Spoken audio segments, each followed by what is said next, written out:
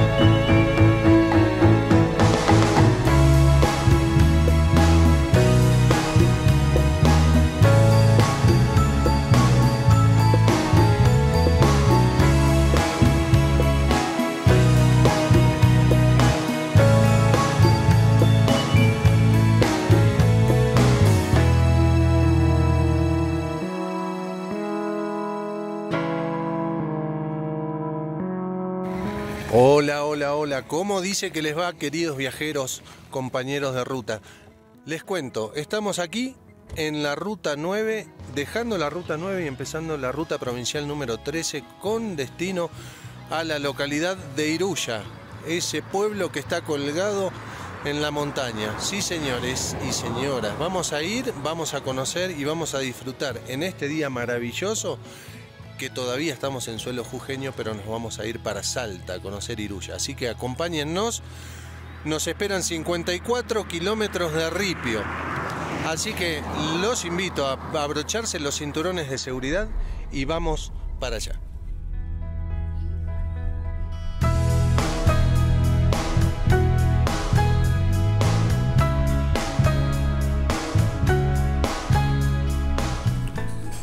Poco más de 5 kilómetros de haber dejado la ruta 9, ya en plena ruta provincial 13 llegamos a Iturbe, la pequeña comunidad en la provincia de Jujuy que tuvo sus raíces como una estación de tren en el pasado, lo que le otorgó vitalidad y un nombre propio. Situada en las proximidades de la quebrada de Humahuaca y distante 36 kilómetros de la ciudad principal, el pueblo de Iturbe aún mantiene su relevancia en la actualidad, aunque no como punto de paso del ferrocarril, sino como parte del camino hacia Iruya, uno de los destinos turísticos más destacados de la región y del país.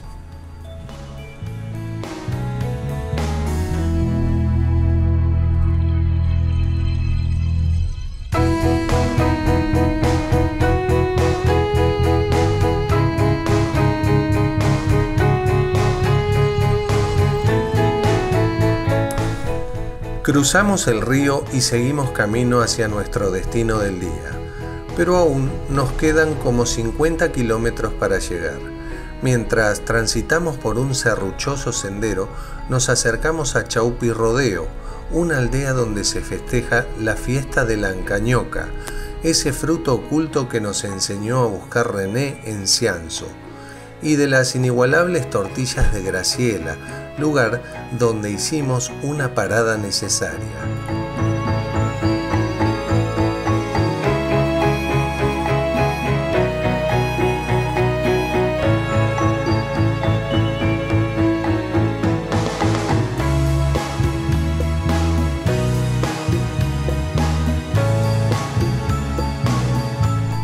Graciela está tomando popularidad con el correr de los días.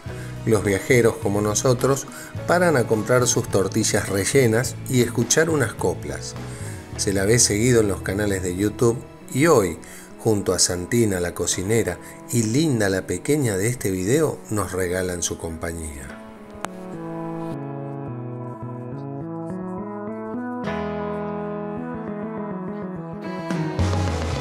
Bueno. Bueno, y estamos acá en Chauspi Rodeo. Dicen que las mejores tortillas se hacen acá. Y que nos, Graciela nos va a cantar una coplita, a ver. Chauspi Rodeo es un pago y un pago de maravilla. Donde se come mote de churo, tortillas a la parrilla.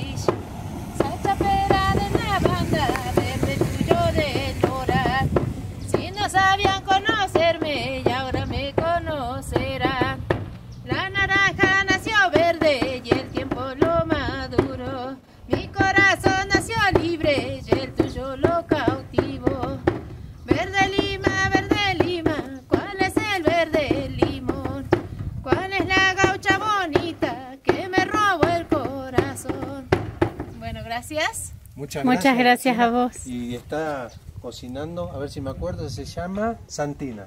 Sí. Santina. Pero ella no quiere salir mucho, así que vamos a respetarla. Muchísimas Sí. gracias, Graciela. No, gracias a ustedes. Bueno, nos vemos. Chao. Dale, que les vaya bien, que. Dios les bendiga.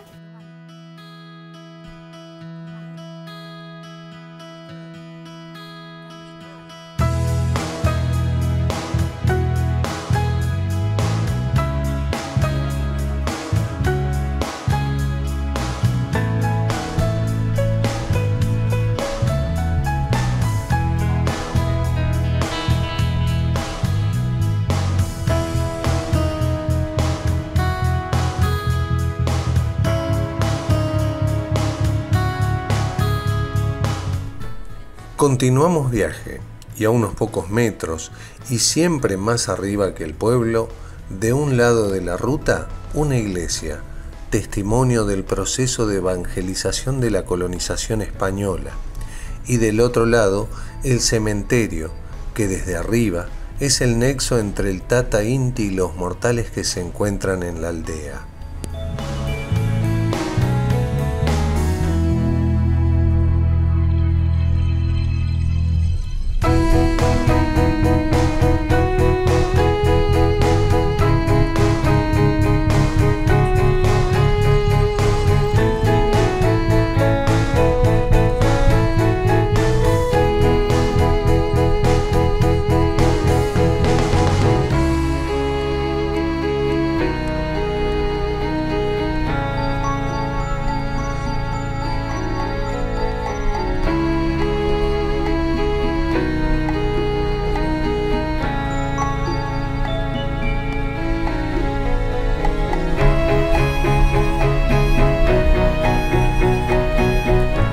En un transitar difícil, en un camino serruchado por la acción del viento, tomamos coraje y decidimos reducir la velocidad mientras saboreamos las tortillas rellenas y unos mates.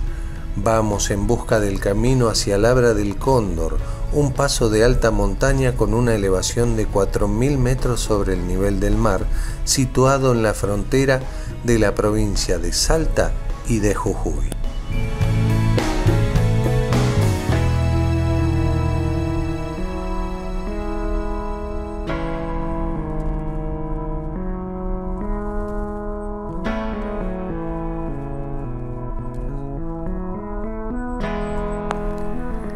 Les queremos contar que con mucha paciencia se puede circular en todo tipo de vehículos, al menos en temporadas de invierno o de escasas lluvias, ya que como vieron se deben cruzar varios ríos, que en épocas de lluvia toman otras dimensiones.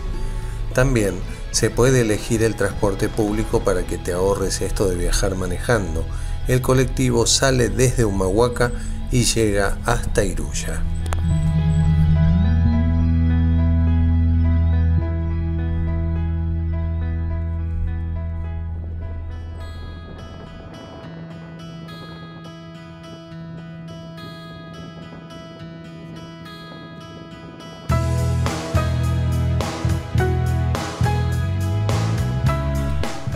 Hay un dicho que dice que el mundo es un pañuelo, y ya lo creo que es así. Volvimos a cruzarnos con Nicolás e Irene ¿Se acuerdan de Vamos Viendo? Que también estaban capturando momentos mientras se dirigían como nosotros a Iruya. Empezamos un camino de descenso, nos vamos acercando por un camino de ida y vuelta, serpenteante, hermoso recorrido.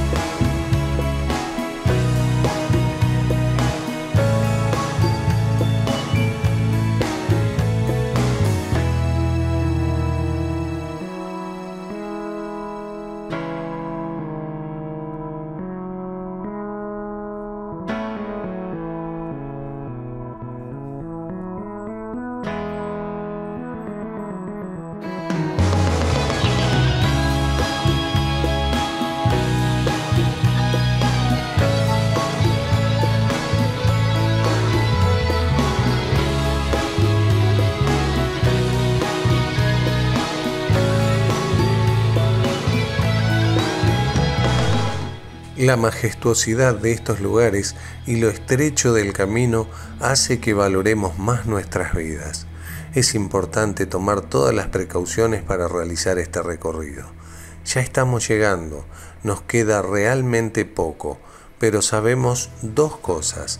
La primera es que disfrutamos a pleno de este viaje y la otra es que la vuelta sería por aquí que solo la posición del Sol nos podría regalar otra vista diferente, con la iluminación del astro rey posándose sobre las figuras que el viento fue tallando.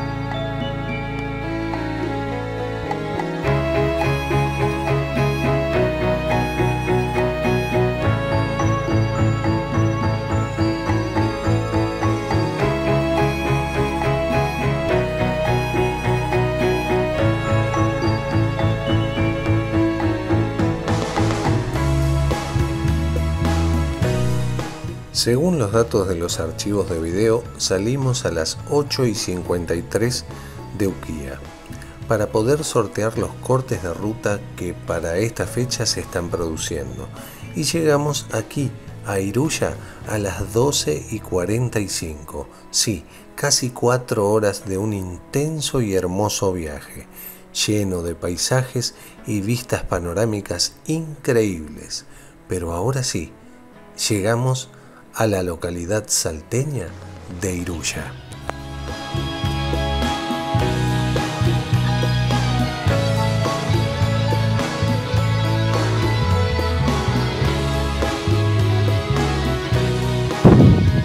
Pleno invierno. Llegamos a Iruya, vamos a empezar a recorrer esta mítica localidad, ¿sí? Esta localidad que se encuentra colgada de una montaña poquito cansado, mucho viento, mucho polvo y mucho calor. Así que comenzamos este recorrido.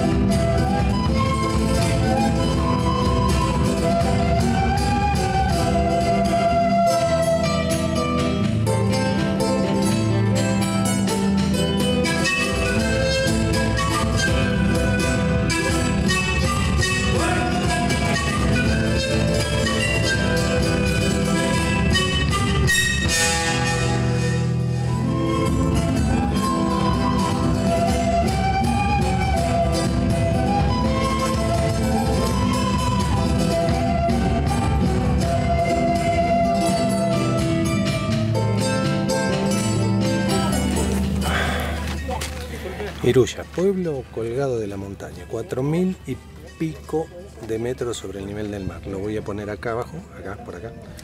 ¿Cuántos metros? De paisaje impactante, entorno increíble. Eh, voy a ser honesto voy a dar puntos positivos y puntos negativos de lo que me parece a mí. Y bueno, si alguno está de acuerdo o no, vas a ver cómo ponerlo en los comentarios. Mientras les muestro las imágenes, les digo cuáles son nuestras apreciaciones.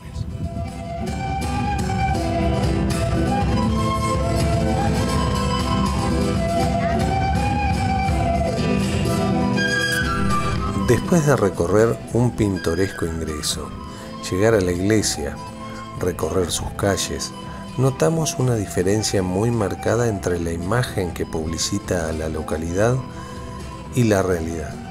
Ojo, esto es una apreciación netamente personal.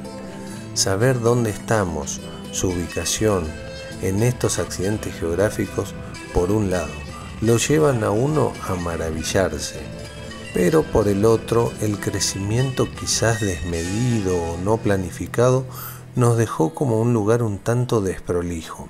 Quizás sea así y nos hicimos una idea diferente por lo leído en muchos comentarios. En fin, la visita a la localidad de Iruya la podríamos calificar como aceptable, recomendable para una excursión de un solo día.